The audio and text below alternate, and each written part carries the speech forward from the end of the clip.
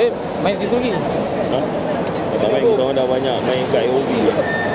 AOV. AOV dengan Jamin. Sayang, macam mana boleh kena gembak? Mana dia buka ah, pasti tinggi-tinggi?